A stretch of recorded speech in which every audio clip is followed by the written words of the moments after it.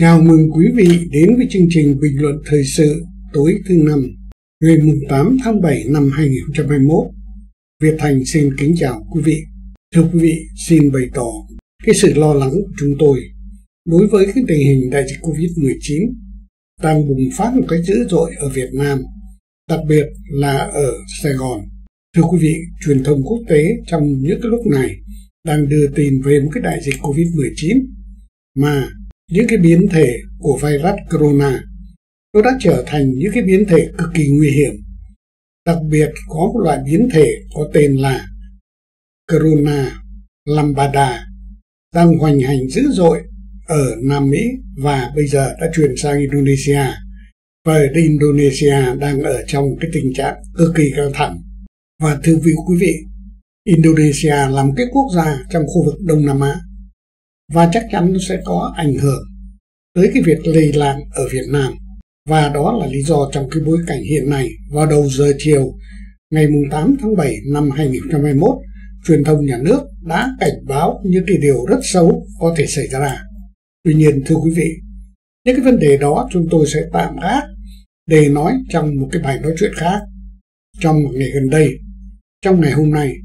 chúng tôi sẽ đề cập tới một cái thông tin mà có những dấu hiệu cho thấy sau hội nghị trung ương năm, Tổng bí thư Nguyễn Phú Trọng và Tổng cục 2 xét lật lại một cái hồ sơ chuyên án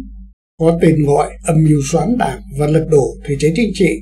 của cựu Thủ tướng Nguyễn Tấn Dũng và Thượng tướng Nguyễn Văn Hưởng, Thứ trưởng Bộ Công an. Đây là một cái vụ án, thưa quý vị, đã từng xảy ra vào giai đoạn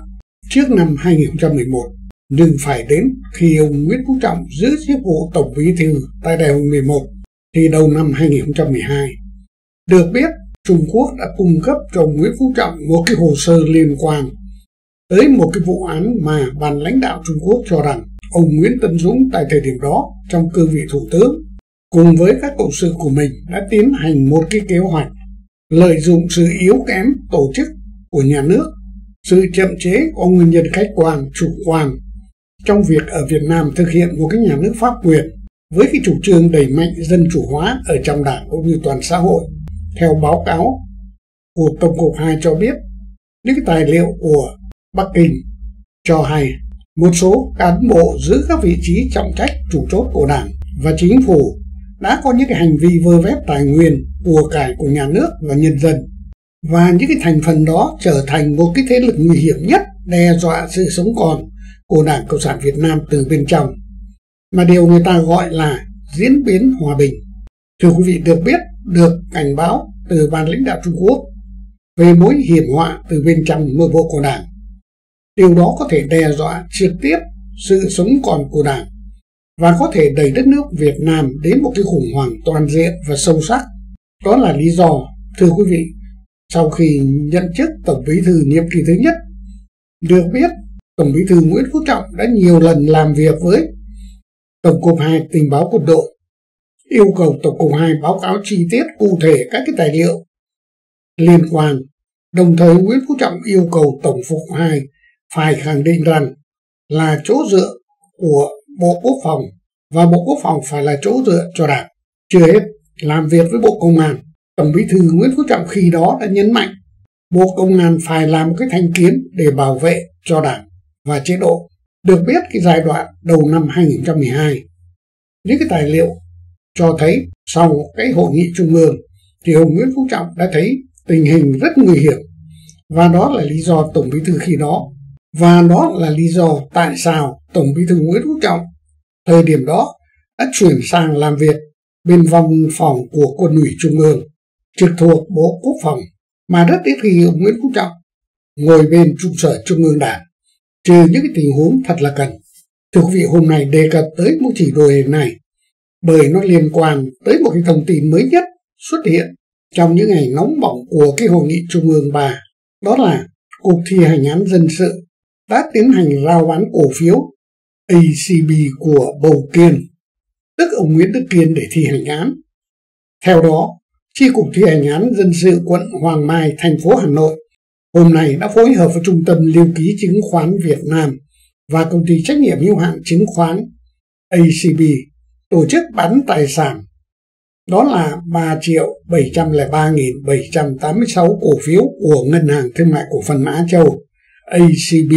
mang tên ông Nguyễn Đức Kiên đã lưu ký tại Trung tâm Lưu ký Chứng khoán Việt Nam và cái thời gian thực hiện bán các cái cổ phần của Bầu Kiên sẽ diễn ra trong 3 ngày và bắt đầu từ ngày mai 9 tháng 7 năm 2021. Thưa quý vị, số lượng cổ phiếu của Nguyễn Đức Quyền bán ra vào trong 3 phiên kể từ ngày mai với số tiền được ước chừng 76,5 tỷ đồng. Thưa quý vị, đóng cửa ngày 7 tháng 7, giá cổ phiếu của Ngân hàng Á Châu ACB đứng ở mức 36.550 đồng cho một cổ phần. Và nếu như bán với cái giá như vừa kể của ngày 7 tháng 7, thì số lượng cổ phiếu của ông Nguyễn Đức Kiền tại Ngân hàng Á Châu có thể có giá trị tới 135 tỷ đồng. Thưa quý vị, những cái điều đó cho thấy mặc dù trong cái thời gian đang thụ án liên quan tới các cái hành vi phạm tội về kinh tế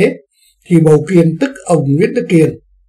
chỉ riêng cái số cổ phiếu với tổng số 31,5 triệu cổ phiếu của Ngân hàng Á Châu thì số cổ phiếu đó hiện nay có giá thị trường khoảng 1.100 tỷ đồng. Đó, thưa quý vị, một ông bầu kiên đi tù rồi mà còn có cái tài sản lớn như vậy ở đây chúng tôi cũng cần phải nhắc lại đó là ông Nguyễn Đức Kiên đã bị bắt giam vào năm 2012 và tháng 12 năm 2014 thì ông Nguyễn Đức Kiên đã bị tòa phúc thẩm tuyên án y án sơ thẩm với tổng số năm tù là 30 năm phải nộp phạt một số tiền 75 tỷ đồng trốn thuế và 100 triệu đồng về tội danh lừa đảo. Đồng thời tòa án cũng cấm Nguyễn Đức Kiên giữ mọi chức vụ về ngành ngân hàng, tài chính trong vòng 5 năm sau khi mãn hạn. Thưa quý vị, để nói về cái sự giàu có của Bầu Kiên mà Bầu Kiên có liên quan tới một cái vụ án như chúng tôi đã nói với quý vị liên quan tới cái việc một cái âm mưu xoán đảng lật đổ chế độ của cựu thủ tướng Nguyễn Tấn Dũng trước đây. Và thưa quý vị, đó là những cái cáo buộc từ phía Nguyễn Phú Trọng. Tuy nhiên giai đoạn trước, cái vụ án đó đưa ra thì các cố vấn của Ban chấp hành Trung ương khi đó là Kiệt, Mười Anh không đồng tình. Và đó là lý do cái vụ án đó đã chìm xuồng. Và đến nay, như quý vị đã biết liên quan tới những cái vụ án được cho là liên quan tới tướng Nguyễn Văn Hưởng thì có những thông tin cho rằng ông Nguyễn Phú Trọng và bè đảng đã quyết định lật lại cái vụ án này để xem xét trách nhiệm của cựu thủ tướng ông Nguyễn Tấn Dũng và cựu thứ trưởng bộ công an ông Nguyễn Văn Hưởng. Thưa quý vị, mặc dù đang thụ án nhưng trong danh sách những người giàu nhất ở Việt Nam hiện nay thì Bầu Kiền tức ông Nguyễn Đức Kiền tính đến ngày 28 tháng 9 năm 2018 đứng ở vị trí thứ 50 cùng với một cái khối tài sản tương đương với 1.489 tỷ đồng. Còn vợ ông Nguyễn Đức Kiên là bà Đặng Ngọc Lan hiện nay cũng đang sở hữu 53 triệu 9 590 nghìn 803 cổ phiếu của Ngân hàng Á Châu. Với khối tài sản vừa kể, thì sở hữu của bà Đặng Ngọc Lan, vợ của Bầu Kiên, đứng thứ 37 trong danh sách người giàu nhất trên sàn chứng khoán Việt Nam với tổng số tài sản là 1.817 tỷ đồng. Thưa quý vị, những cái điều chúng tôi vừa kể, liệu nó có xảy ra những cái điều mà giới phân tích trong ngày hôm nay, người ta nói rằng rất có thể vụ án của Nguyễn Tấn Dũng sẽ được thổi bùng trở lại để tìm cách xử lý liên quan tới những cái vụ việc như quý vị đã biết đó là một cái âm mưu phục hồi quyền lực trở lại của Nguyễn Tấn Dũng. Thưa quý vị, trước khi đi vào nội dung chi tiết thì chúng tôi giới thiệu với quý vị một cái thông tin liên quan tới cái vụ án Bưu điện cầu voi và tử tù Hồ Duy Hải. Vào lúc 14 giờ chiều ngày hôm nay 8 tháng 7 năm 2021, luật sư Trần Hồng Phong đã đăng trên trang Facebook cá nhân thông tin cho cộng đồng dư luận xã hội được biết hiện nay bảy nhân chứng trong đám tang của ông Tư Lan được đề cập trong một lá đơn kêu cứu khẩn cấp tới các lãnh đạo đảng, nhà nước, chính phủ và quốc hội cũng như các cơ quan tư pháp trung ương thì hiện nay bảy nhân vật vừa kể và các luật sư đã được cơ quan điều tra công an tỉnh Long An mời đến để làm việc. Cụ thể là sau ngày hôm qua, tối hôm qua và sáng hôm nay 8 tháng 7 năm 2021, các nhân chứng nằm trong số 7 người mà trước đây đã có đơn trình bái cũng như cam kết về việc họ đã gặp Hồ Duy Hải trong một cái đám tang của ông Tư Lan vào tối ngày 13 tháng 1 năm 2008. Theo đó có những nhân chứng được mời làm việc từ 8 giờ 30 sáng và đến 13 giờ 30 chiều hôm nay thì vẫn chưa ra khỏi trụ sở. Trong khi dì ruột của Hồ Duy Hải là bà Nguyễn Thị Len được mời làm việc 13 giờ 30 ngày hôm nay theo luật sư Trần Hùng Phong. Vừa qua, ngày 5 tháng 7 năm 2021, đã có một tổ công tác của Viện Kiểm sát Nhân dân tối cao đến làm việc với các nhân chứng ở xã Nhị Thành, huyện Thủ Thừa để ghi lại những lời trình bày về việc họ nhìn thấy Hồ Duy Hải tại đám tang của ông Tư Lan. Theo luật sư Trần Hùng Phong, nếu điều này được xác thực và kết luận của Viện Kiểm sát là đúng, thì đây chính là một cái chứng cứ ngoại phạm đặc biệt của Hồ Duy Hải. Thưa quý vị, những cái thông tin này nó còn nhiều, chúng tôi sẽ giới thiệu với quý vị trong các cái bài bình luận sau liên quan tới cái vụ án biểu điện cầu voi. Tuy nhiên, theo kết luận của luật sư Trần Hồng Phong, những cái điều đó cho thấy việc xem xét lại quyết định giám đốc thẩm đối với vụ án biểu điện cầu voi trước đây để tiến hành một cái phiên tòa tái thẩm. Trong trường hợp có những cái tình tiết mới quan trọng như vừa kể, thì nó sẽ là một cái vấn đề lật lại toàn bộ kết quả của vụ án biểu điện cầu voi. Thưa quý vị, những cái thông tin liên quan này chắc chắn nó có liên quan tới cái hội nghị Trung ương 3 khóa 13 về cái việc bổ nhiệm các cái nhân sự lãnh đạo để cho Quốc hội thông qua vào giữa tháng 7 năm 2021. Thưa quý vị, trở lại cái vấn đề vụ án chính trị liên quan tới ông Nguyễn Tân Dũng và Thượng tướng Nguyễn Văn Hưởng mà cái việc người ta tổ chức một cái chuyên án để bắt Nguyễn Đức Kiên tức Bầu Kiên được cho là một phần của chuyên án chính trị bảo vệ chế độ. Thưa quý vị, xuất phát từ những cái tin kỹ thuật từ mạng lưới của Tổng cục 2 tình báo quân đội cũng như các cái thông tin cung cấp từ cơ quan tình báo của Trung Quốc đã cho thấy trong nội bộ Đảng Cộng sản Việt Nam giai đoạn 2009-2011 đã xuất hiện một cái âm mưu xoán đảng lật đổ chế độ. Theo kết luận của Tổng cục 2 tại thời điểm đó, âm mưu chưa bao giờ được rõ như cái thời điểm vừa kể. Theo đó, chuyên án bảo vệ chế độ thực chất là một kế hoạch được đánh số với một cái bí số riêng đã được một tổ công tác của Tổng cục 2, Tổng cục Tình báo Quân đội âm thầm thực hiện việc chuẩn bị trinh sát cũng như củng cố các cái chứng cứ kết hợp với các cái tài liệu của cơ quan tình báo Trung Quốc, tổ công tác của Tổng cục 2 được cho là những cái cán bộ có phẩm chất chính trị ưu tú nhất, trung kiên nhất, đặt dưới sự chỉ đạo trực tiếp của lãnh đạo cao nhất của quân ủy Trung ương là Tổng Bí thư Nguyễn Phú Trọng. Theo yêu cầu của Tổng Bí thư Nguyễn Phú Trọng, đó là cần phải bí mật vì trong vụ án này nó sẽ đụng chạm đến nhiều cán bộ chủ chốt của Đảng Cộng sản Việt Nam, chính phủ cũng như mạng lưới trên đất của họ. Thưa quý vị, trước khi để nói kỹ chi tiết về cái vai trò của tướng Nguyễn Văn Hưởng trong cái vụ việc này, thì chúng tôi nhắc lại những cái tài liệu mà chúng tôi nhiều lần nói với quý vị, nhưng nói ở một cái mức độ chi tiết hơn, để quý vị thấy lý do tại sao Tổng bí thư Nguyễn Phú Trọng trong giai đoạn này bất ngờ đã yêu cầu Viện Kiểm sát Nhân dân tối cao cho tái điều tra vụ án liên quan tới Đại tá Nguyễn Duy Linh, Phó Tổng cục trưởng Tổng cục Tình báo, mà là con trai của Thượng tướng, cựu Thứ trưởng của Bộ Công an ông Nguyễn Văn Hưởng. Thưa quý vị, trong con mắt của những người công tác trong lực lượng an ninh Việt Nam, đặc biệt là các cái lãnh đạo trong ngành an ninh, họ đánh giá cho rằng một cái thời kỳ cực thiệu của Thượng tướng Nguyễn Văn Hưởng đó giữ chức Thứ trưởng phụ trách an ninh và tình báo của Bộ Công an. Được biết, ông Nguyễn Văn Hưởng trước đó là thư ký cho Thứ trưởng Bộ Công an Viễn Trì. Rồi sau đó, ông Hưởng về làm tại Cục A15, tức Cục An ninh Chính trị 1, phụ trách toàn bộ mảng phản gián chống gian điệp của các nước châu Âu và Hoa Kỳ. Trong thời gian đó thì Bộ trưởng Công an Tô Lâm trong cái vai trò thư ký của Thượng tướng Nguyễn Văn Hưởng trước khi cái cục A15 được tách ra thành hai cục A35 và A37. Thưa quý vị, nói đến tướng Nguyễn Văn Hưởng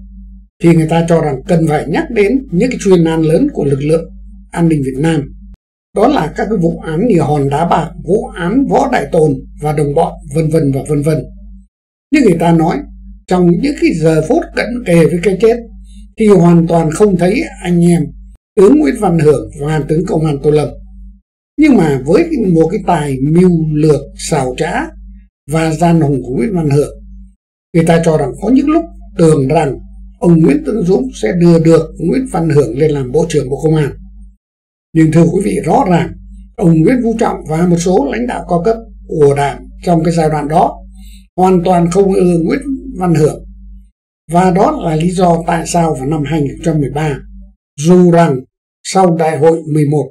ông Nguyễn Văn Hưởng đã nghỉ hưu nhưng Nguyễn Tấn Dũng vẫn để cho Nguyễn Văn Hưởng dưới chức vụ cố vấn an ninh và tôn giáo cho Thủ tướng. Và đó là lý do Bộ Chính trị, theo yêu cầu của Nguyễn Phú Trọng yêu cầu ông Nguyễn Tân Dũng phải chấm dứt việc đó. Thưa quý vị, theo Nguyễn Phú Trọng,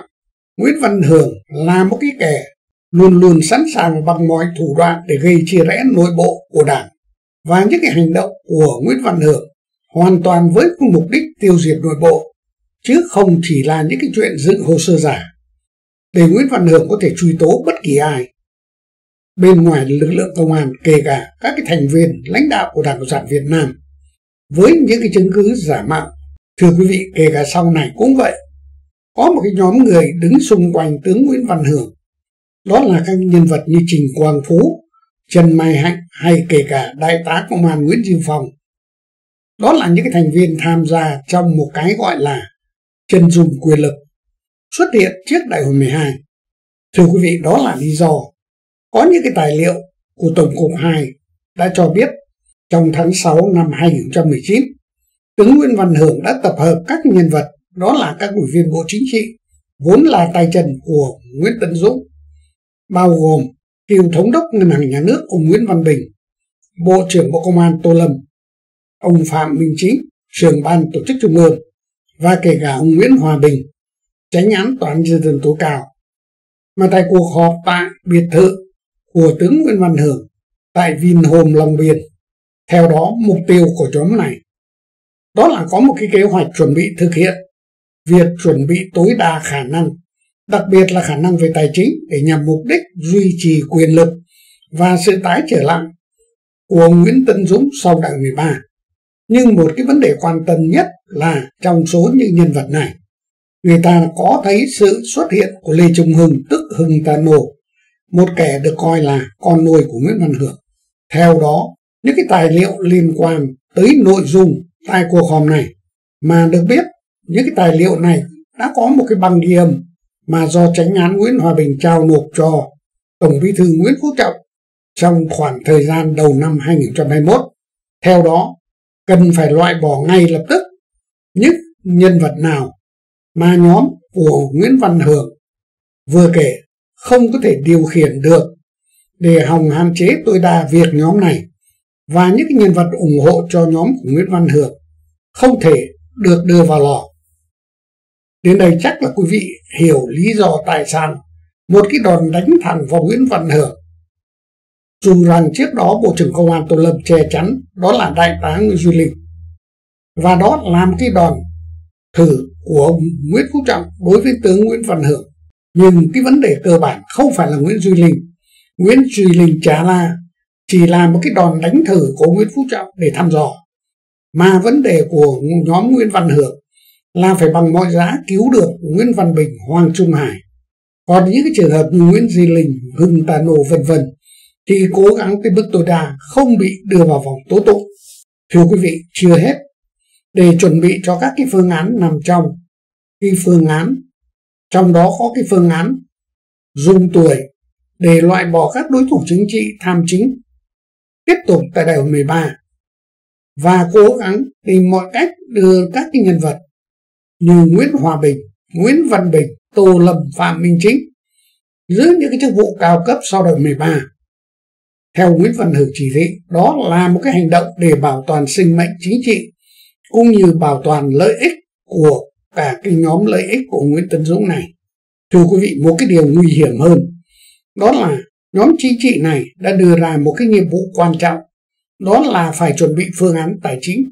thật dồi dào dư giả on hơn nhiều lần của cái đại hội 12 và nhóm đại gia này bao gồm Nam của Sun Group giúp sẹo Nguyễn Đăng Quang, Hồ Hùng Anh. Tuy nhiên, Vượng Vin được mời, nhưng Vượng Vin không tham gia. Theo đó, để tạo dựng những thế lực về mặt tài chính, theo Nguyễn Văn Hưởng, với sự tham mưu của Nguyễn Văn Bình, cho rằng một cái cách thức dễ dàng nhất và để nhanh có tiền bạc nhất, đó là cần phải tiến hành cướp một số ngân hàng. Thưa quý vị, chữ cướp ở đây tức là thông qua một con đường thâu tóm như trước đây mà Nguyễn Văn Bình đã từng làm. Trong cái kế hoạch thâu tóm này thì có một số ngân hàng cụ thể đó là exim bank hay Sacombank, cũng như một số ngân hàng khác. Và cái cách thức chuẩn bị tiền rồi tại đại hội 13 sẽ áp dụng đúng chính sách như ông Nguyễn Tân Dũng đã cho thực hiện tại đại hội 12 đó là đưa ra một cái danh sách 200 ủy viên trung ương không cần ban chấp hành trung ương hay bộ chính trị giới thiệu hay bầu mà sử dụng tiền để mua các cái đại biểu dự đại hội để bầu ra theo một cái kế hoạch này được cho biết nhóm của Nguyễn Văn Hưởng mà đứng sau là Nguyễn Tấn Dũng có một cái kế hoạch chuẩn bị một số tiền khổng lồ để mua 1.000 đại biểu tham dự đại hội Đảng Cộng sản Việt Nam lần thứ 13 với giá khoảng 3 tỷ đồng cho một đại biểu. Và thưa quý vị, tổng số đại biểu tham gia, đại hội 13 có 1.480 đại biểu và nhóm của Nguyễn Văn Hử chủ trương sẽ mua dứt 1.000 đại biểu, tức là 2 phần 3 số đại biểu tham dự đại hội. Và chắc chắn theo kế hoạch của Nguyễn Văn Hưởng vạch ra là nhóm của Nguyễn Tân Dũng sẽ thành công, mà không cần sự giới thiệu của Trung ương khóa trước dưới cái sự chỉ đạo của trưởng ban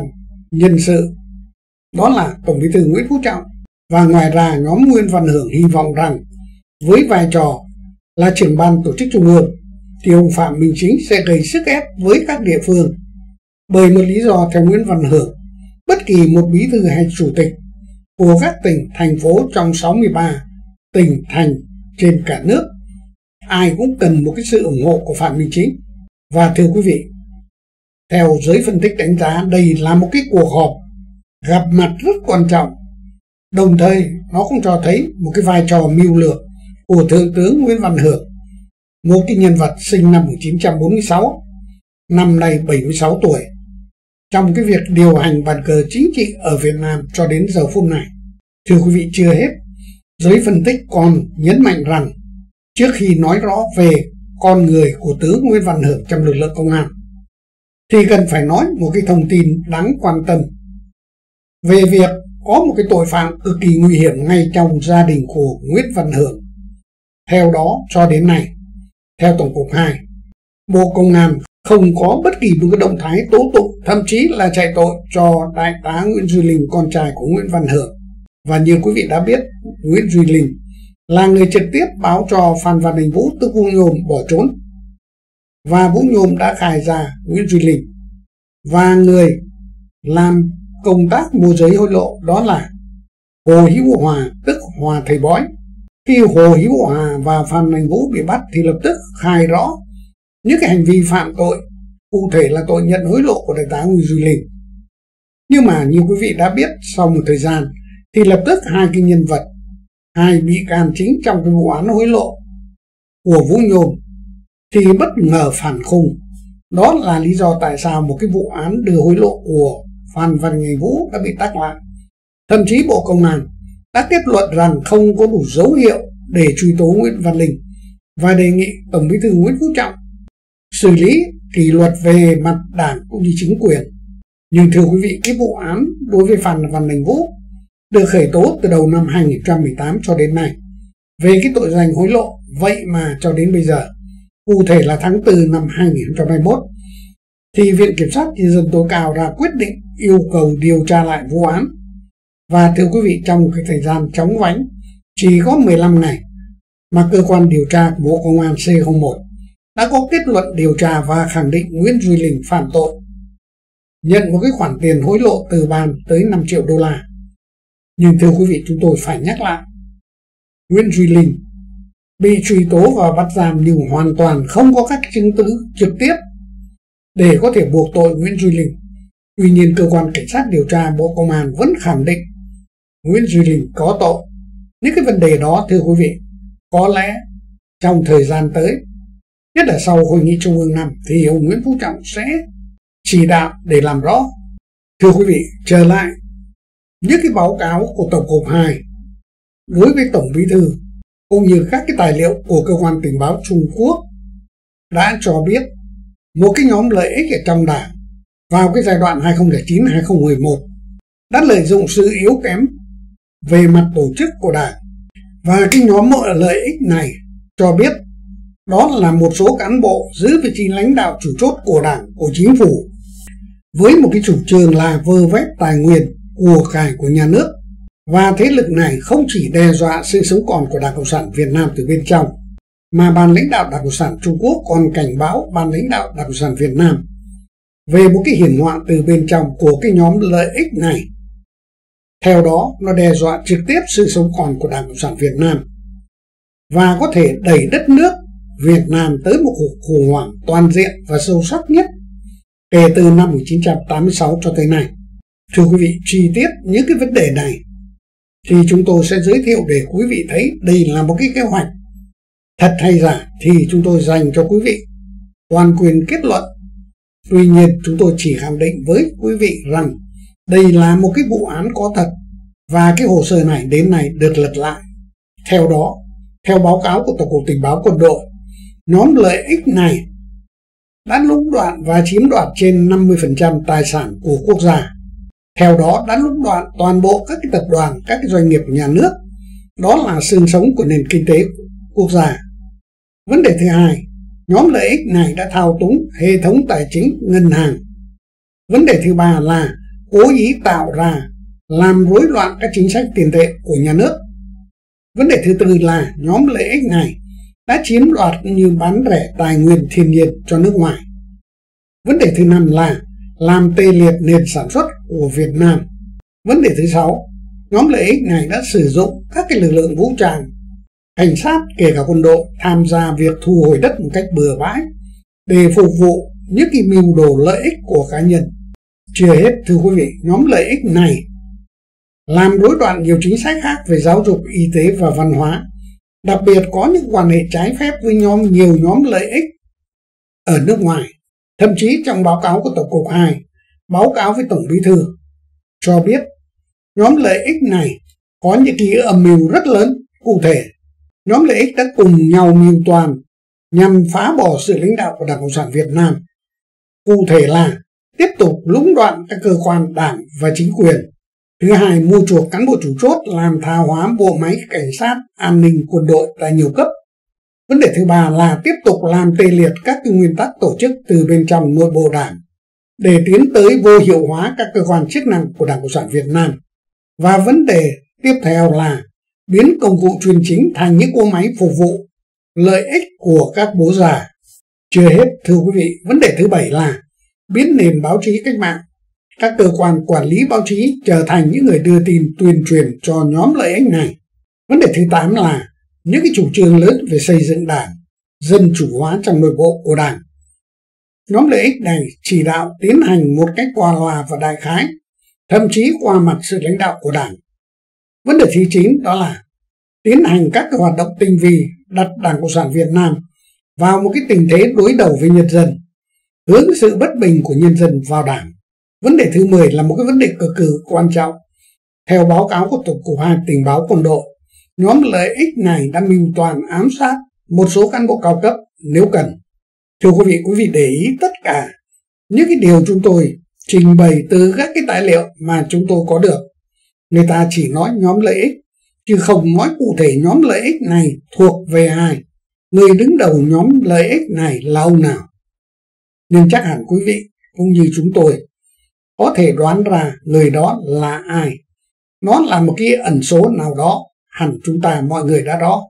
Chưa hết, thưa quý vị, trong một cái báo cáo của Tổng cục 2 tình báo quân đội cho biết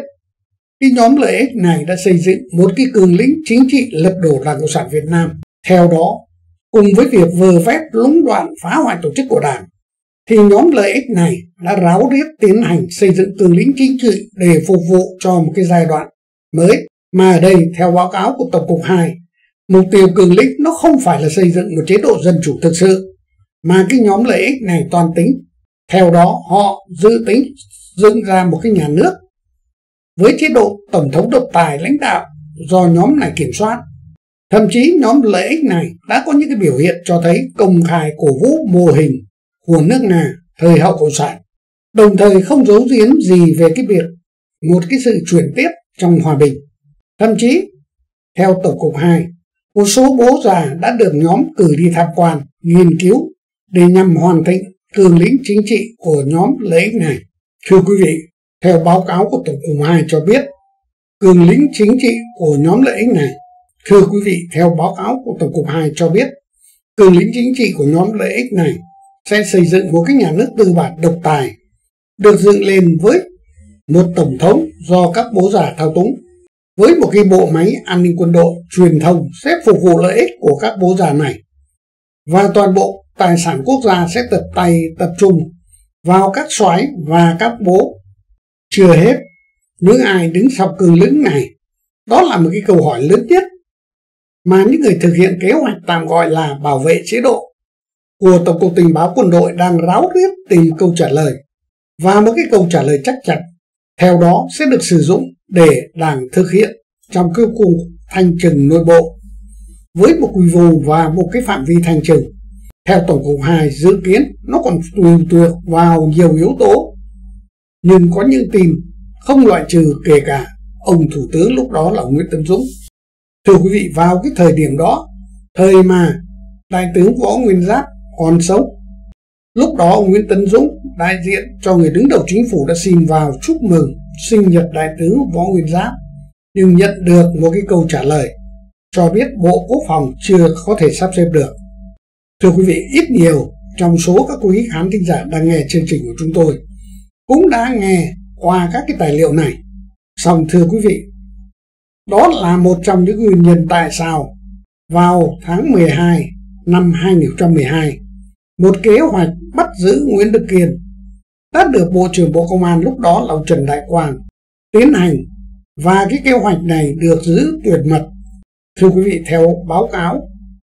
của Tổng cục 2 cho biết, rút kinh nghiệm từ cái vụ từ tù Dương Trí Dũng trong cái vụ án Vinalai trước đây, thì cái việc bắt Nguyễn Đức Kiên tức Kiên Bạc được ban chuyên án của Bộ Công an tiến hành hết sức bí mật.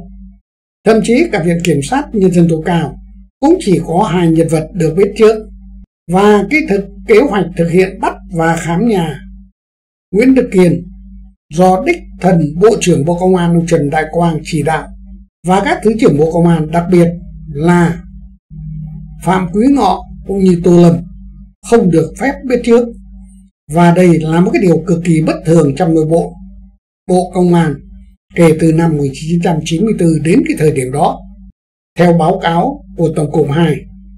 Đảng Cộng sản Việt Nam đã tiến hành một cái việc làm trong sạch hóa cán bộ đảng viên trong nội bộ đảng. Và một cái kết quả bỏ phiếu tín nhiệm trong giai đoạn đó, Thủ tướng Nguyễn Tân Dũng chỉ đạt được 3 phiếu ủng hộ trên 14 phiếu. Với một cái quyết định như vậy nên chức danh trưởng ban phòng chống tham nhũng trung ương của Thủ tướng Nguyễn Tân Dũng đã được chuyển sang cho Tổng bí thư Nguyễn Phú Trọng. Và đó là lý do ngay lập tức Tổng bí thư Nguyễn Phú Trọng đã thành lập một cái ban nội chính do đích thân Tổng bí thư là người đứng đầu. Được biết, thưa quý vị, trong cái giai đoạn từ tháng 7 đến đầu tháng 8 năm 2012, Bộ Chính trị và Ban Bí thư đã tiến hành cái việc kiểm điểm nội bộ các cái thành phần của Bộ Chính trị. Mà thực chất mục đích của Nguyễn Phú Trọng là tăng cường sự lãnh đạo của Đảng. Để thông qua công tác này loại bỏ ảnh hưởng của Thủ tướng Nguyễn Tân Dũng. Vấn đề thứ hai, ông Nguyễn Phú Trọng chủ trương kiện toàn bộ máy chống tham nhũng mà trọng tâm sẽ tập trung vào Bộ Công an. Với một cái mục đích thực chất là loại bỏ ảnh hưởng của Thượng tướng Nguyễn Văn Hưởng một cái chủ mật vụ phụ trách vấn đề an ninh cũng như các cái tay chân của Nguyễn Văn Hưởng nằm dày đặc ở các đơn vị nghiệp vụ trong Bộ Công an cũng như rất nhiều địa phương. Trên cơ sở đó, ông Nguyễn Phú Trọng sẽ thực hiện một số sự điều chỉnh nội bộ để hoạt động điều tra chống tham nhũng đạt cái hiệu quả cao hơn. Và thưa quý vị, việc bắt giam điều tra đối với Nguyễn Đức Kiên tức Kiên Bạc khi đó được giao cho Tổng cục Cảnh sát của tướng Phan Văn Vĩnh tức Vĩnh Trột chứ không giao cho cơ quan an ninh điều tra vì người ta biết Nguyễn Văn Hưởng vẫn có một cái ảnh hưởng lớn đối với cái khối an ninh của Bộ Công an vào thời điểm đó. Đặc biệt khi đó, Thứ trưởng Bộ Công an ông Tô Lâm vốn là thư ký của Nguyễn Văn Hưởng, rất có thể dễ dàng lọt lộ các cái thông tin. Đặc biệt rút kinh nghiệm từ cái vụ Dương Trí Dũng được Thượng tướng Phạm Quý Ngọ báo để bỏ trốn, thì cái việc bắt giữ Nguyễn Đức Kiên là một cái điều được cho là tuyệt mật và thưa quý vị như chúng tôi đã nói, kể từ năm 94 cho đến cái thời điểm năm 2012 mới có một cái kiểu bắt người bí mật như vậy đối với Nguyễn Đức Kiên tức Kiên Bạc. Bởi vì trước năm 1994, khi đó Bộ trưởng Bộ Công an là Thượng tướng Bùi Thiền Ngộ đã chỉ đạo Phó Tổng cục trưởng Tổng cục Cảnh sát Nhân dân lúc đó là Thiếu tướng Trịnh Thanh Thiệp, một cái người có tư thù với Trung tướng Phạm Tâm Long đã tiến hành bất ngờ bắt giam con trai của Thứ trưởng Bộ Công an ông Phạm Tâm Long. Đó là Đại úy Công an ông Phạm Xuân Liên và các cái Thứ trưởng Công an thời ấy đều không biết trước được cái kế hoạch đánh án của Thiếu tướng Trịnh Thanh Thiệp.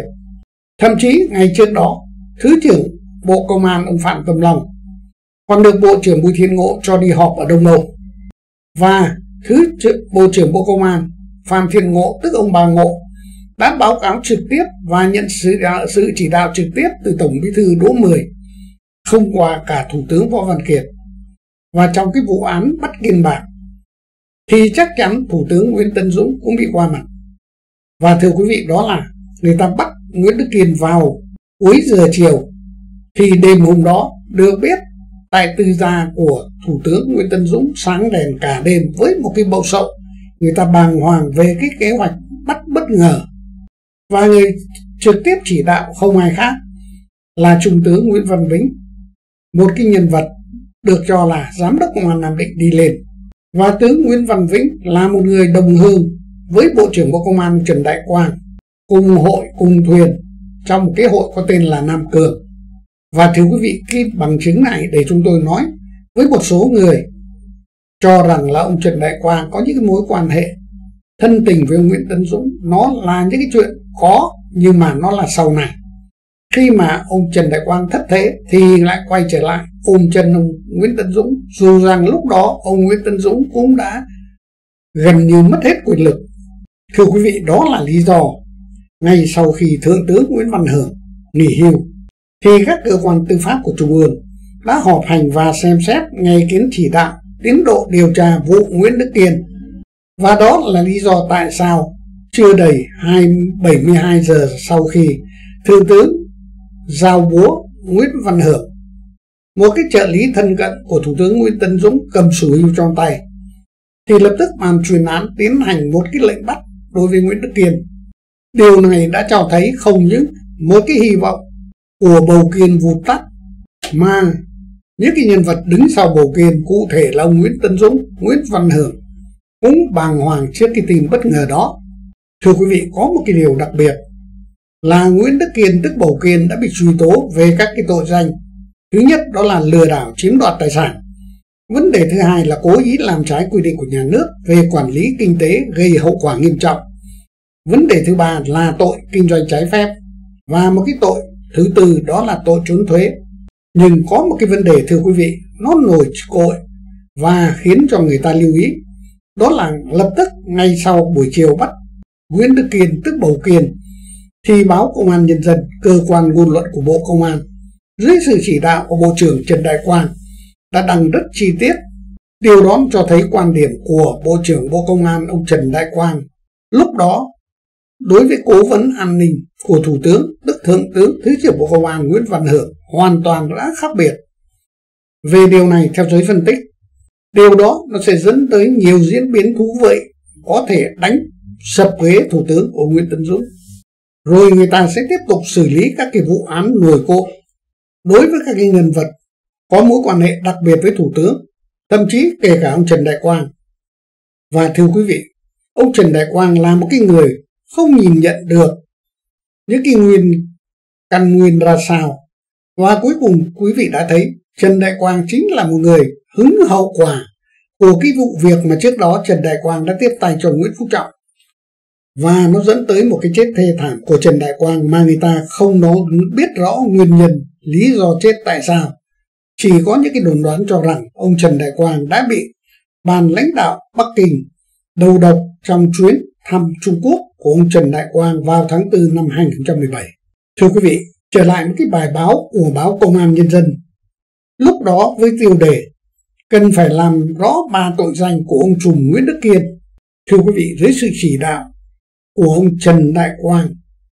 thì những bùi bút của báo Công an Nhân dân đã lên án và kể tội.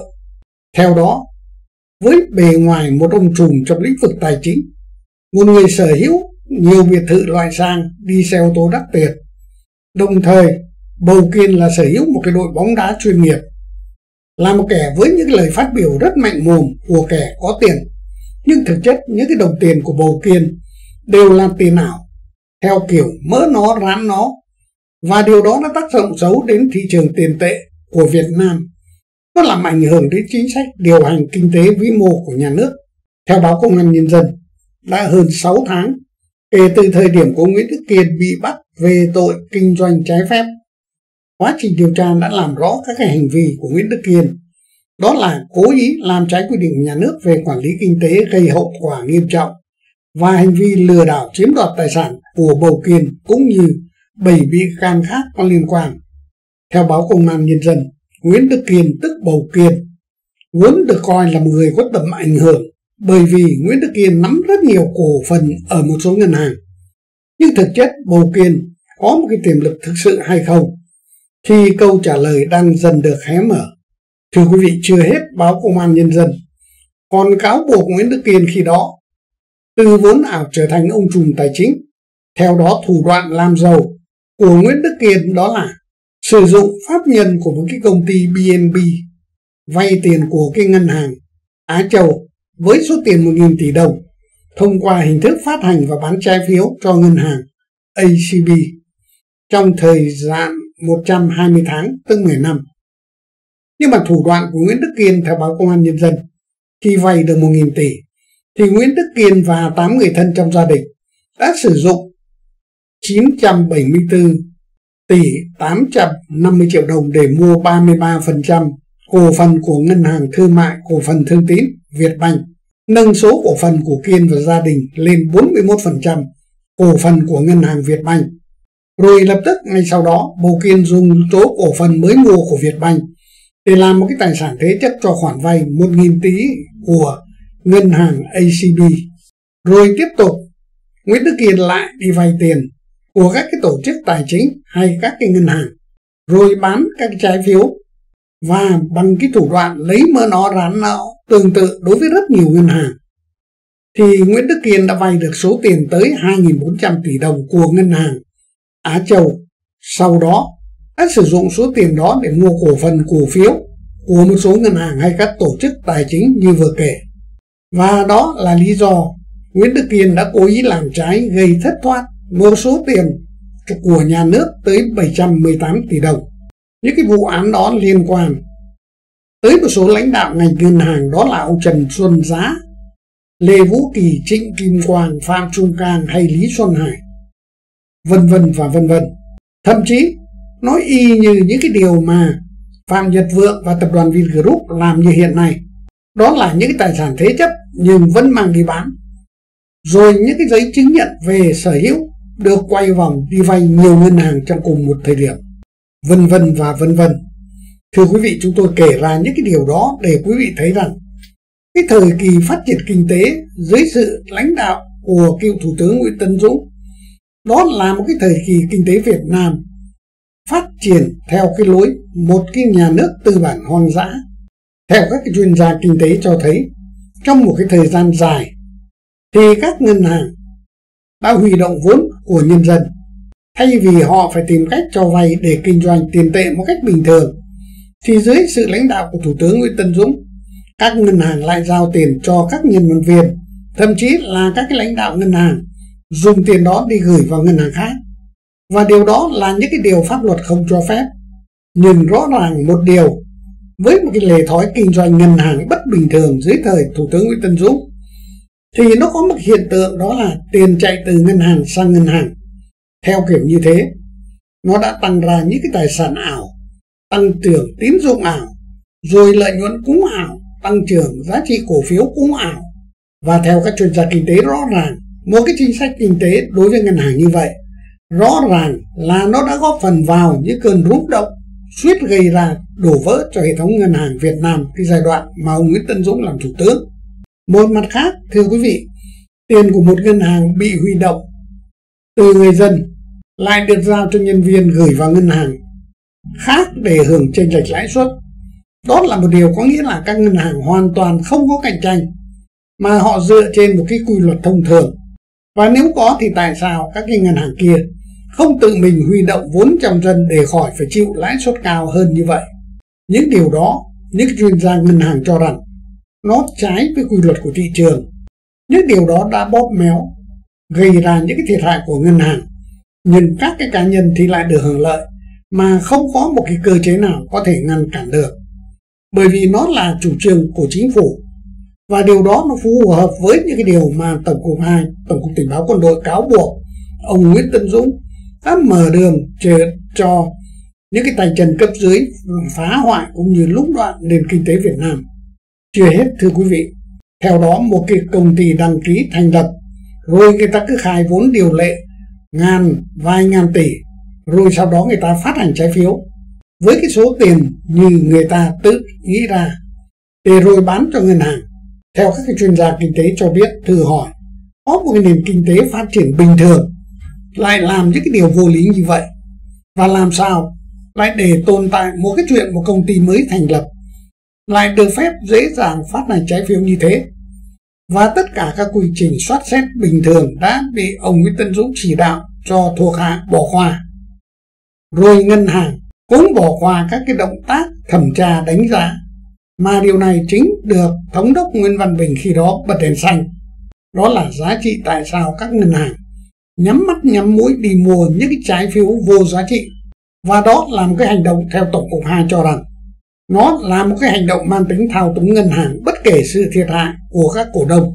Thưa quý vị, chính cái việc phát hành trái phiếu dễ dàng trong thời điểm mà ông Nguyễn Tân Dũng đang ngự trị trên chiếc ghế Thủ tướng Chính phủ, nó đã tạo điều kiện cũng như các cái khe hở mà theo báo cáo của Tổng cục 2 cho biết, rất nhiều tay tài phiệt đã góp vốn sở hữu của nhiều ngân hàng khác, mà thực chất họ không có một cái gì trong tay. Họ chỉ làm giàu bằng tay trắng, và đó chính là một cái sự khởi đầu của một hiện trạng sở hữu chéo, và nó trở thành một cái mớ bùng nhùng mà cho đến bây giờ người ta vẫn gỡ ra hết. Và có một điều ngạc nhiên rất nhiều, các ông bầu từ tay trắng thậm chí là những cái kẻ chạy mánh mùng mà trở thành những ông chủ của các cái nhà banh rồi trở thành các cái đại gia có tên tuổi theo luật sư Nguyễn Ngọc Bích trên một cái bài viết của Thời báo Kinh tế Sài Gòn ngày 30 tháng 8 năm 2012 có một cái nhận xét cho thấy cái sự kinh doanh tiền bạc của các ngân hàng dưới thời của Thủ tướng Nguyễn Tân Dũng cũng như Nguyễn Văn Bình. Theo đó, luật sư Nguyễn Ngọc Bích cho rằng, theo mô tả, nếu cái người chủ này họ bán trái phiếu, ví dụ họ bán cho ngân hàng A, rồi họ lấy tiền vay được đi mua cổ phần của một cái vài ngân hàng khác như ngân hàng B, ngân hàng C, ngân hàng D vân vân Tiếp theo đó họ lại thế chấp cổ phiếu mới mua cho ngân hàng A để đảm bảo trả nợ số còn lại thì họ đem chi dùng cá nhân. Và số tiền vay mượn kiểu ấy, theo luật sư Nguyễn Ngọc Bích tại cái thời điểm năm 2012 lên đến hàng chục ngàn tỷ đồng. Và rõ ràng cái hệ thống luật pháp dưới thời Thủ tướng Nguyễn Tân Dũng đặc biệt sau một cái giai đoạn gọi là hậu Việt Nam tham gia Tổ chức Kinh tế Thế giới WTO. Lúc đó rất sơ khai và ông Nguyễn Tân Dũng và các cái thuộc hạ của mình đã lợi dụng những cái chính sách đó để làm giàu và kiếm tiền bằng cái khả năng hiện có với mục đích kiếm được tiền nhiều nhất. Thưa quý vị,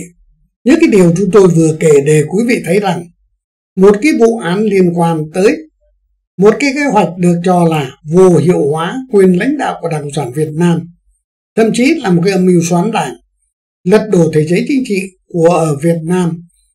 do Nguyễn Tân Dũng và một cái cộng sự có tên đó là Nguyễn Văn Hưởng. Với các tài liệu cho chúng tôi có được thì người ta khẳng định đó là một kế hoạch có thật, nhưng theo đánh giá của chúng tôi, nó cũng có thể có những điều có thật, nhưng cũng có những điều không phải là sự thật mà người ta muốn tạo dựng ra một cái vụ án với cái mục đích để hạ bệ đối với ông Nguyễn Tân Dũng giữa cái lúc mà cái mối quan hệ của Tổng Bí thư Nguyễn Phú Trọng với ông Bà Dũng khi ông Nguyễn Phú Trọng thấy rằng ông Nguyễn Tân Dũng trong cương vị thủ tướng đã lấn ép và giành quyền lực lãnh đạo của đảng. Cụ thể là ông Nguyễn Tân Dũng đã giải thể các cái ban của đảng, cụ thể là ban nội chính trung ương cũng như ban kinh tế trung ương. Mà tất cả các cái quyền lực đó tập trung vào tay của ông Nguyễn Tân Dũng khi đó là thủ tướng. Theo Nguyễn Tân Dũng, các cái ban của đảng tham gia chỉ làm tạo điều kiện cản trở và chậm trễ công việc. Và cái điều đó thưa quý vị trong cái giai đoạn 2006 cho tới 2011 khi ông Nguyễn Tân Dũng là thủ tướng nhiệm kỳ thứ nhất, tổng bí thư khi đó là ông Nông Đức Mạnh. Và thưa quý vị, ông Nông Đức Mạnh thì 14 cũng ừ, 14 cũng gật. Nguyễn Tân Dũng nói gì là Nông Đức Mạnh ok hết. Bởi Nông Đức Mạnh đã bị Nguyễn Tân Dũng đưa vào trọng há miệng mắc quài. Cụ thể là cái việc ông Nguyễn Tân Dũng đã yêu ái đưa con trai của ông Nông Đức Mạnh là Nông Quốc Tuấn giữ các chức vụ quan trọng. Thậm chí còn giữ cái giữ chức bí thư tỉnh ủy Bắc Giang. Trong khi năng lực của Nông Quốc Tuấn thì ai cũng biết, đó là một thanh niên chưa tốt nghiệp phổ thông và do nghiện ma túy mà ông Nông Đức Mạnh đã gửi sang xuất khẩu lao động ở Cộng hòa Liên Bắc Đức. Rồi về Việt Nam không nghề không mẫu, vẫn tiếp tục nghiện hút, sống vật vờ và đó là lý do tại sao ông nông Đức Mạnh đã gửi Nông Quốc Tuấn về đoàn thanh niên để tạo điều kiện dần dần bàn bạc với Thủ tướng Nguyễn Tân Dũng bố trí những cái chức vụ quan trọng đứng đầu tỉnh như quý vị đã thấy. Thưa quý vị, một cái nhân vật được cho là có liên quan tới cái vụ án nhưng tất nhiên nó làm cái thế hệ sau và nhân vật đó có liên hệ với Bộ trưởng Bộ Công an Trần Đại Quang. Người đó không ai hết, đó là Phan Văn Minh Vũ. Thưa quý vị, trong những ngày vừa qua, báo chí cũng như mạng xã hội liên tục đưa tin về việc người ta bắt Vũ Nhôm và khởi tố thêm tội danh liên quan tới cái vụ đưa hối lộ cho Đại tá Nguyễn Duy Linh, Tổng cục Phó Tổng cục Tình báo. Và thưa quý vị, giới phân tích cho rằng truyền thông nhà nước trong những ngày vừa qua như lên đồng, người ta đã thay quan tòa để kết tội Vũ Nhôm. Nhưng mà người ta không quan tâm rằng ai được lợi trong cái việc xử lý Vũ Nhôm. Bởi vì như quý vị đã biết Vũ Nhôm là một cựu sĩ quan tình báo với cấp bậc thượng tá, là một đệ tử của Trần Đại Quang. Mà trước Trần Đại Quang thì Vũ Nhôm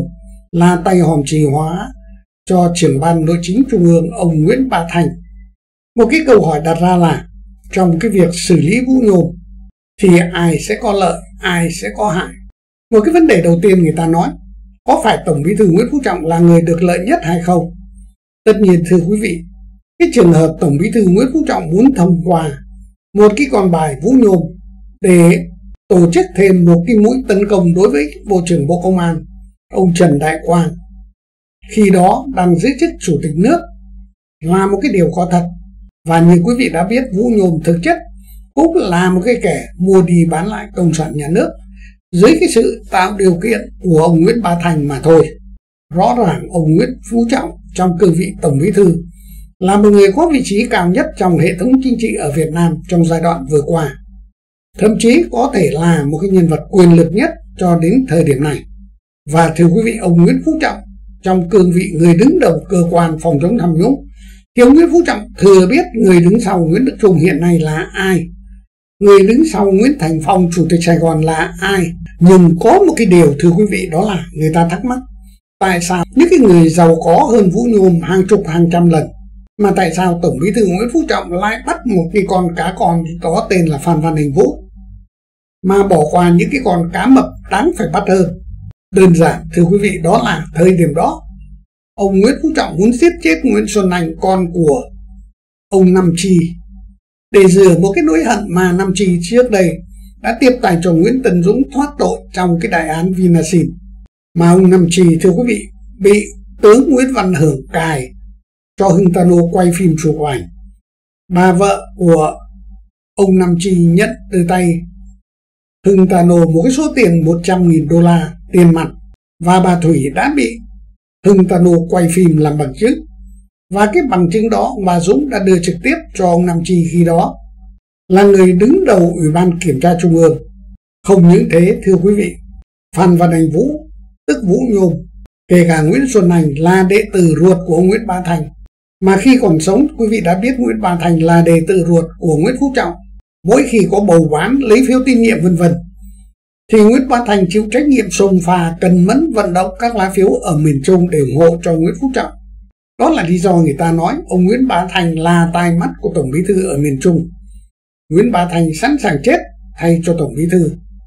Và ngược lại, ông Bí thư cũng tin tưởng và ủng hộ Nguyễn Bá Thành. Và đó là lý do tại sao Tổng Bí thư Nguyễn Phú Trọng đã bằng mọi cách để đưa hai nhân vật đó là Nguyễn Bá Thành cũng như Vương Đình Huệ vào Bộ Chính trị. Nhưng rất tiếc kế hoạch này của Tổng Bí Thư đã thất bại trước kế hoạch của ông Bà Dũng đưa hai nhân vật người miền Nam đó là Nguyễn Thiện Nhân và bà Nguyễn Thị Kim Ngân. Người ta nói việc giết con, bắt bạn thân của con, tức Vũ Nhôm để trả thù cha, tức là Nam Trì. Bắt và kỷ luật hai người thân thiết nhất của đàn em đệ tử của mình tức Nguyễn Ba Thành là một người luôn luôn ủng hộ ông Nguyễn Phú Trọng trong mọi hoàn cảnh như chúng tôi vừa kể. Và điều đó nó cho thấy ông Nguyễn Phú Trọng đã đánh mất một cái điều mà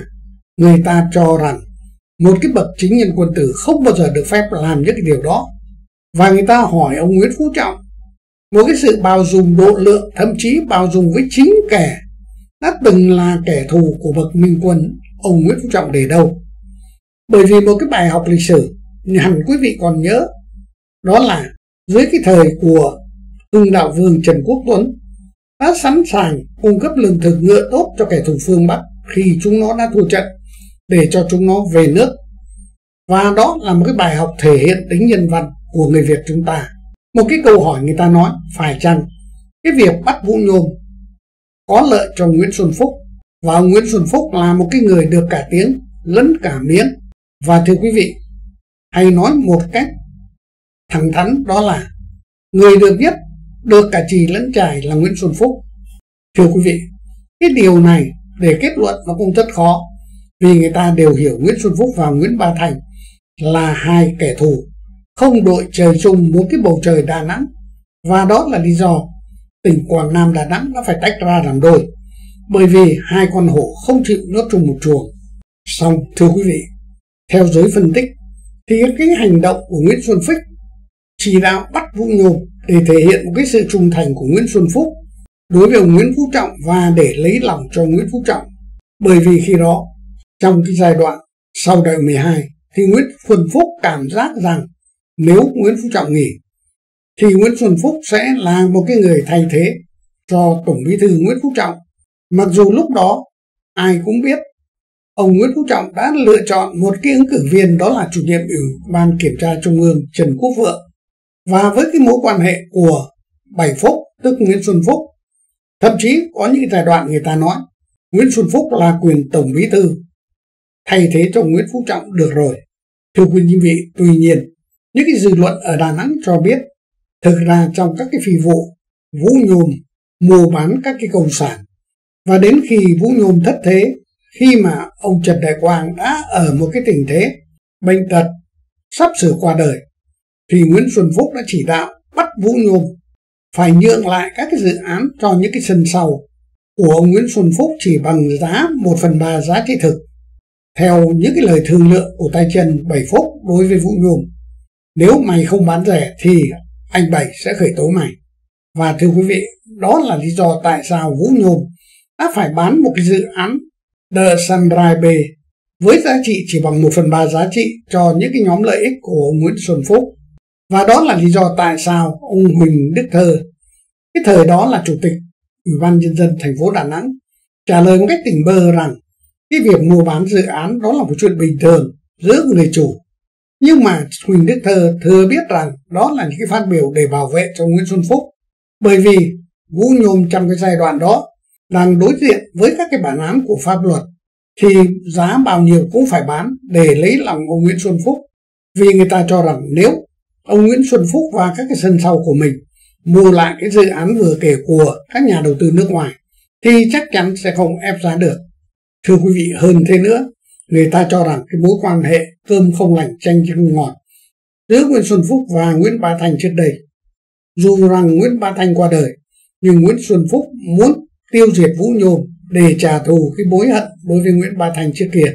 Thưa quý vị, được biết trong cái giai đoạn hiện nay liên quan tới các cái tội trạng của Thượng tướng Nguyễn Văn Hưởng, người ta còn muốn tìm đến những cái bí mật liên quan tới cái vấn đề thao túng các cơ quan truyền thông của Thượng tướng Nguyễn Văn Hưởng sau khi nghỉ hưu.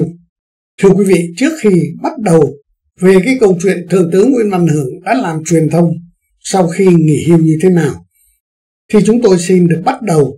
từ một cái nhân vật có tên là Trình Quang Phú. Thưa quý vị, Trình Quang Phú còn có một tên khác đó là Trình Tư Cảnh, Tô Hồng Phú, là một người quê ở Phú Yên, sinh năm 1940. Hiện nay, Trình Quang Phú đang ngụ tại số 27 đường Nguyễn Thị Huyền, phường 8, quận Phú Nhuận, Sài Gòn. Hiện nay, Trình Quang Phú đang sống với một bà vợ. Thứ hai, có tên là Hương họ Huỳnh, giám đốc công ty Sài Thành. Mà được biết trước đây bà Hương, trước giải phóng, là vợ của một sĩ quan tình báo chế độ Việt Nam Cộng Hòa. Nhưng mà ông chồng cũ của bà Hương đã vượt biên đi nước ngoài,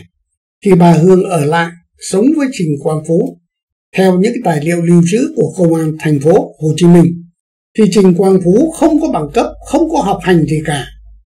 Vì từng bị công an Việt Nam bắt hai lần năm 1982 và 1994 về tội lừa đảo tham mô tài sản. Vậy mà Trình Quang Phú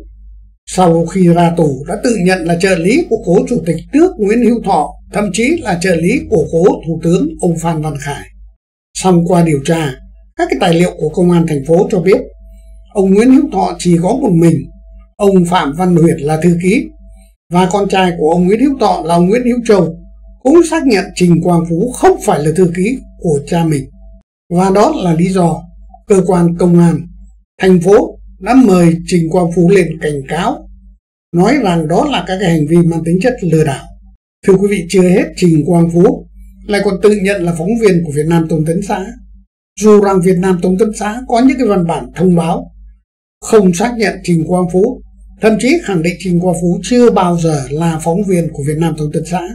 Rồi Trình Quang Phú vẫn chưa hết những cái hành động lừa đảo, nhận mình là tiến sĩ, viện sĩ, viện Hàn Lâm về các cái vấn đề của xã hội của Liên Xô trước đây. Rồi thậm chí còn nhận là cố vấn của Thủ tướng Viện trưởng Viện Nghiên cứu Phát triển Phương Đông. Thưa quý vị, đến lúc này, để nói về cái Viện Nghiên cứu Phương Đông, mà Trình Quang Phú là viện trưởng và có chi nhánh tại Hà Nội, thì ít ai biết rằng Viện Nghiên cứu Phương Đông là của Thượng tướng Nguyễn Văn Hưởng, cựu Thứ trưởng Bộ Công an, là một người giám đốc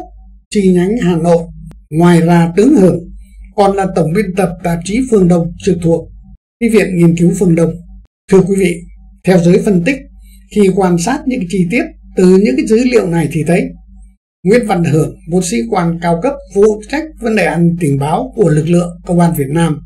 đã đầu quân cho một cái cơ quan của một tên tội phạm đã bị bắt và truy nã, thậm chí bị cảnh cáo nhiều lần.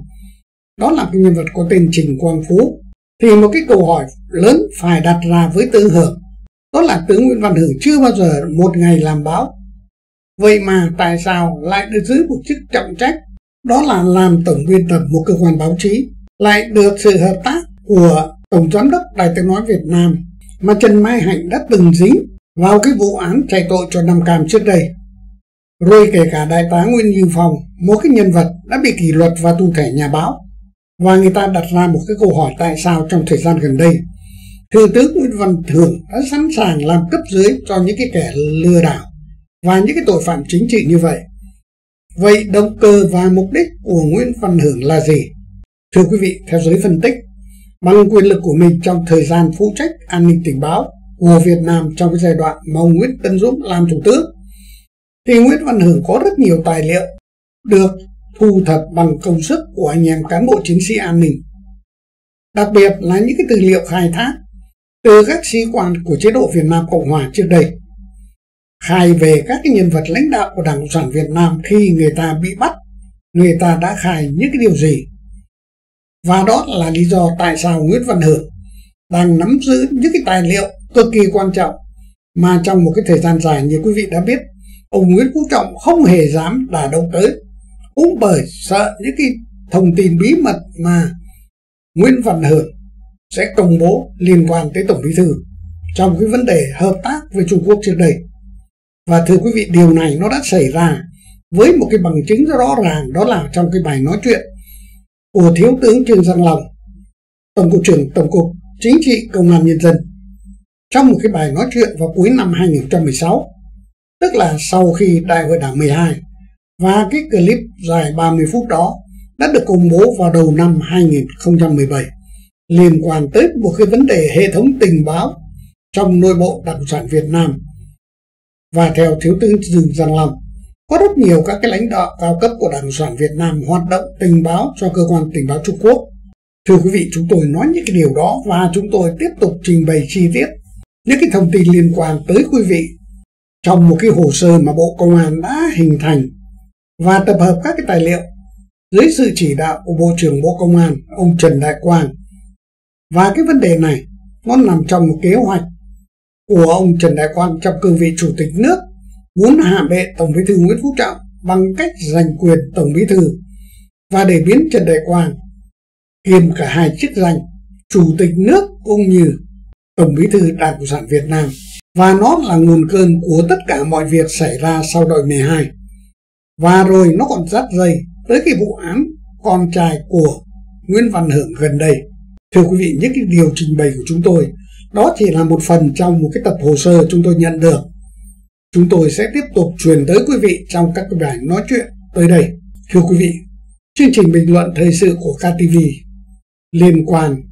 tới một cái hồ sơ được cho là sau hội nghị trung ương năm khóa 13 có khả năng rất cao người ta sẽ lật lại một cái chuyên án âm mưu xoán đảng lật đổ chính quyền lật đổ chế độ của cựu thủ tướng Nguyễn Tân Dũng và một cố vấn an ninh có tên là Thương tướng Nguyễn Văn Hưởng, Thứ trưởng Bộ Công an. Và đó nó là mọi nguồn cơn tại sao nó liên quan tới những cái nhân vật được cho là hậu chiến của cựu thủ tướng Nguyễn Tân Dũng với một cái kế hoạch được cho là hồi phục quyền lực của Nguyễn Tân Dũng sau đại hội 13. Và thưa quý vị, một cái điều hôm nay truyền thông nhà nước đề cập tới cái việc Cục thi hành án dân sự của quận Hoàng Mai đang rao bán cổ phiếu của Ngân hàng Á Châu của Nguyễn Đức Hiền tức Bầu Kiền để tiến hành thi hành án. Và cái hành động này liệu nó có liên quan gì tới những cái vấn đề nội bộ Đảng Cộng sản Việt Nam đang tập trung xử lý, có liên quan tới tướng Nguyễn Văn Hưởng và một cái kế hoạch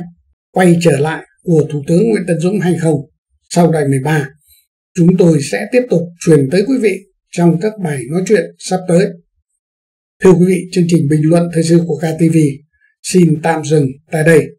Việt Thành xin cảm ơn quý vị đã chú ý theo dõi và đề nghị quý vị tiếp tục ủng hộ KTV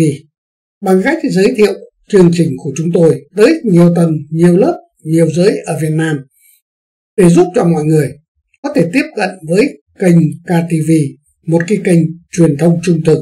đưa các cái thông tin mới nhất, bổ ích nhất tới quý vị. Và đó là những cái thông tin được cho là độc quyền. Thưa quý vị, chương trình bình luận thời sự của KTV xin tạm dừng tại đây. Việt Thành xin cảm ơn và xin hẹn gặp lại quý vị trong các chương trình bình luận thời sự sau. Xin gửi lời chào, tạm biệt. Bye bye quý vị.